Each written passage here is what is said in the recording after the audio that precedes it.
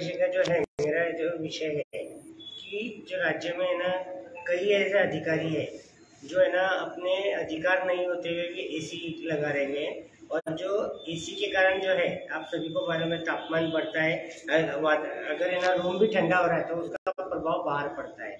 एक तरफ़ है अभी विधानसभा का सत्र चल रहा है राज्य में और विधानसभा के सत्र में शेतकरियों को बिजली का मुद्दा चल रहा है और दूसरी तरफ़ अधिकार न, न होते हुए भी राज्य के अधिकतर अधिकारी जो छोटे अधिकारी भी है या तहसीलदार भी है छोटा सा उससे भी कम अधिकारी वो भी अपने ना कैबिन में एसी बिठा के रख रहे वातावरण यंत्र बिठा रहे जिनका जिनका ना उनका अधिकार नहीं है। जो पच्चीस है ना जो शासन पत्रक है पच्चीस मई 2022 का है ना शासन परिपत्रक है सामान्य प्रशासन विभाग का। इसमें है ना कौन से व्यक्ति या कौन से अधिकारी है ना जो अपने अदालत में, अपने चेम्बर में एसी बिठा सकते हैं? उसके बारे में दिया गया हुआ है। और इसके पहले भी कब कब था, उसमें अब टाइम टाइम टू अपडेट हुआ हुआ है। तो लास्ट में जो अभी अपडेट हुआ हुआ है, सातवा वेतन आयोग के हिसाब से 25 मई 2022 को अपडेट हुआ हुआ है जीआर आया हुआ है। उसके अनुसार जिसकी है ना वेतन श्रेणी मतलब है जिसका पगार एक लाख चौदह चालीस हज़ार से दो लाख अठारह हज़ार दो सौ एक लाख चौचालीस हज़ार दो सौ से दो लाख अठारह हज़ार दो सौ या इससे ऊपर है। मतलब है ना शासन में इसमें ना पे ग्रेड बताया हुआ है। तो इसका जो ग्रेड है हर है ना अधिकारी का एक ग्रेड दिया हुआ रहता है। जैसे जैसे ना ऊँचे लेवल में जाते रहते जैसे ग्रेड बढ़ते जाता है। तो इसके अंदर जो एस थर्टी है ना ऐसा ग्रेड दिया हुआ है एक, एक, लाख चौचालीस हज़ार दो सौ से दो लाख अठारह हज़ार दो सौ तक के। तो यही अधिकारियों को एसी बिठाने का अधिकार है।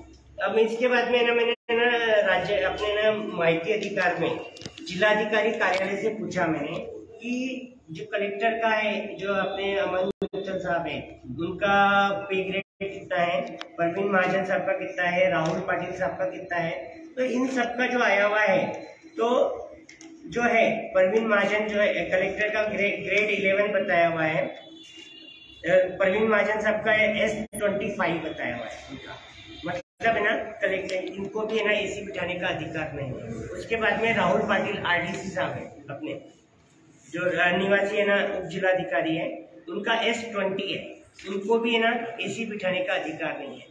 वैसे ही अगर अपन ने देखा तो एसपी अगर एसपी साहब जो है अपने, उनके है ना एस ट्वेंटी थ्री बताया हुआ है मुझे। तो मतलब है ना एस थर्टी नहीं है, उन्हें ट्वेंटी थ्री है तो उनको भी एसी बिठाने का अधिकार नहीं है। अपर जिलाधिकारी अपर पुलिस अधीक्षक है उनको भी एसी बिठाने का ऐसा करके एस थर्टी जो लेवल जो है एसी बिठाने की पात्रता है अपने और अपने ना जलगांव ज़िले में कहीं पर भी नहीं है। महानगर पालिका महानगर पालिका आयुक्त है ना तो भी है ना यूपीएससी से नहीं आए हुए है वो तो भी है ना एमपीएससी से आए हुए तो उनको भी अधिकार नहीं है इसका मान। जब महानगर पालिका को आयुक्तों को अधिकार नहीं है तो महानगर पालिका के संदर्भ में अगर देखा जाए तो जो चपरा, जो है ना क्लर्क है, उन्होंने भी अपने ना केबिन में एसी बिठा के रखा हुआ है। इस प्रकार से क्लर्क को एसी मिल रहा है। सामान्य जनता, जलगांव का तापमान पंचेचालीस से ऊपर जाता है। सामान्य जनता जो है, धूप में घूमती रहती है। इनको कैबिन मिला हुआ है, पंखा मिला है कूलर मिला है। इसके अलावा इनको एसी चाहिए, लेकिन काम के बारे में जितना है, उनका रिज़ल्ट नहीं मिलता है, मेरे जहाँ तक मैंने, आम जनता को इनका। तो इतना होते हुए भी इनको इनको है ना जो है ना ये है कि एसी बिठाने का अधिकार नहीं तो एसी बिठाया जा रहा है इनका। अब मैंने इसके जलगांव में कौन है ऐसा अधिकारी जलगांव में आज की तारीख में एक भी अधिकारी ऐसा नहीं है जिसको है ना एसी का अपन है ना फैसिलिटी उसको मिलती है। एस थर्टी का जो जिसको वेतन श्रेणी है ऐसा एक भी अधिकारी नहीं है। तो इन सबको है ना अधिकार नते हुए अगर है ना मैंने है ना नेट पे सर्च किया हुआ है एक टन का अगर एसी रहता है साधारण आदमी अपने घर में काट कसर करके, ठंडी में नहीं बचाएगा साधारण टाइम में जो गर्मी होगा तभी चलाएगा, रात में बंद कर देगा। ऐसा कर, काट कसर करके बारह से चौदह हज़ार रुपए साल का बिल आता है अगर वो पूरे साल भर चलाता है तो काट कसर करके। लेकिन है ना, अपन जब शासकीय अधिकारियों को देखा जाए तो शासकीय अधिकारी है ना, उनके है ना कैबिन में ना एक एक टन डेढ़ टन, दो टन, ऐसा है ना ऐसा डबल का एसी बिठा रहता है।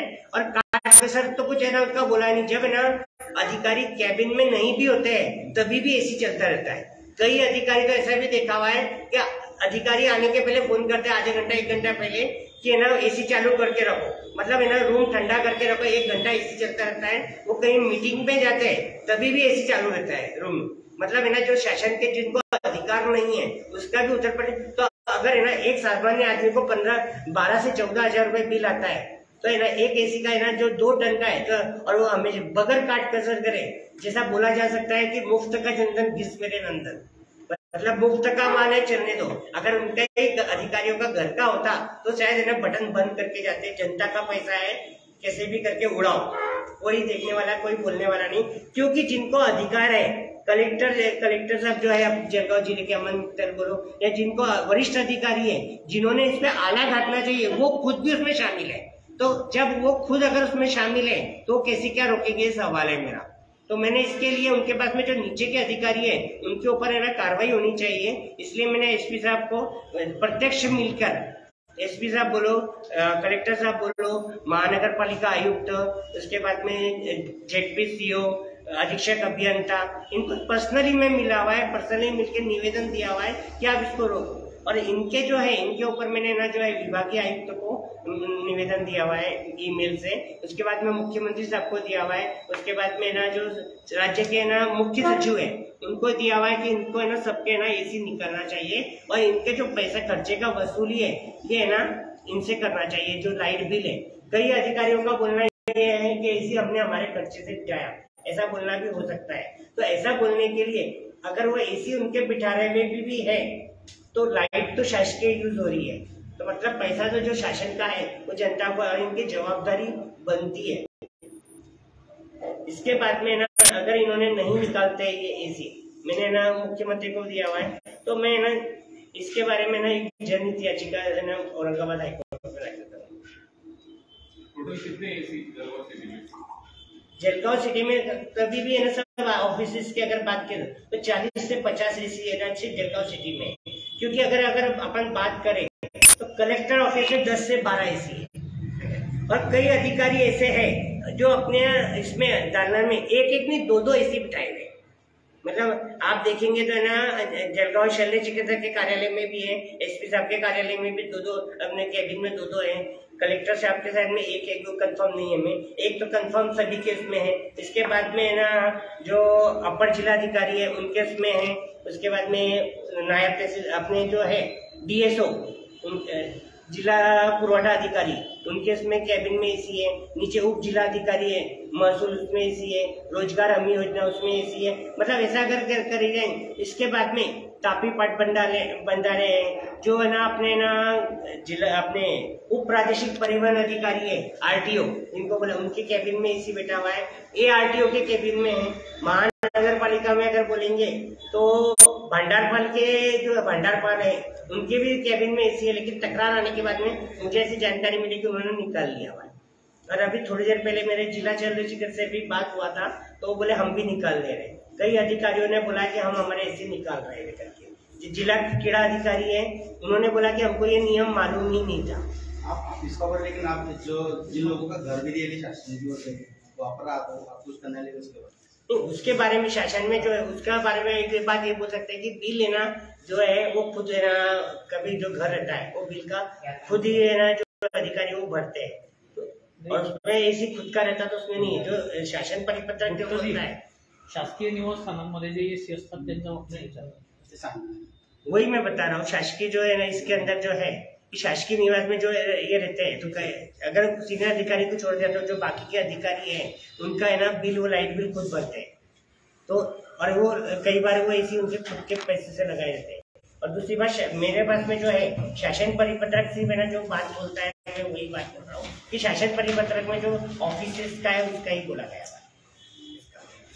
मनपा आयुक्त महापौर को महापौर नहीं ज़रूर महा अधिकार पदाधिकारियों के बारे में इसमें कुछ भी स्पष्टीकरण नहीं है। लेकिन अधिकारियों के बारे में एक गाइडलाइन दी गई है और मेरा ये बोलना है कि गाइडलाइन का जो है उनको पालन होना चाहिए। मेरे पास सबसे बड़ा ये बोलना है कि जो कलेक्टर है जिनके ऊपर ज़िले की है ना व्यवस्था रखने की जवाबदारी है या एसपी है जिनको है ना कानून। अगर तो यही खुद अगर है ना, अपने अधिकार क्षेत्र से जाके बाहर करेंगे तो अधिकारियों को इनको बोलने का नैतिक अधिकार रहेगा क्या?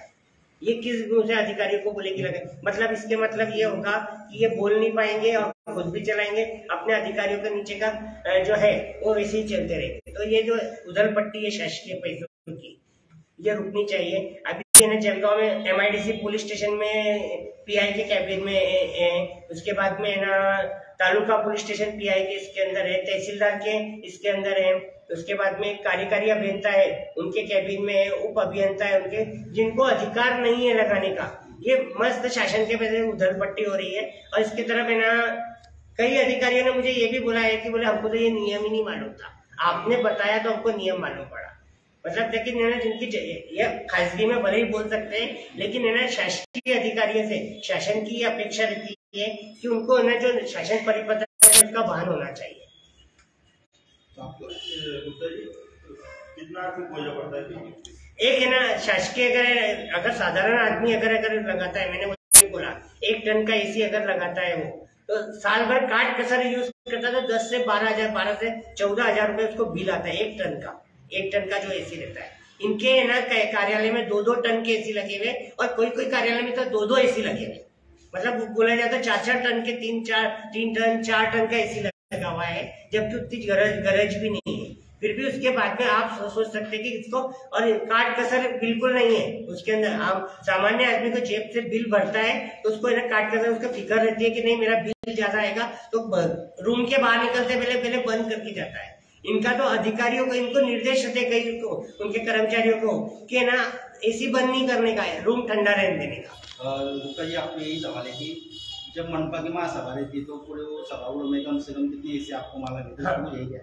नहीं वो सभागृह का दालना दालना कैबिन नहीं है वो वो सभागृह है। तो सभागृह में उसको लगाया जा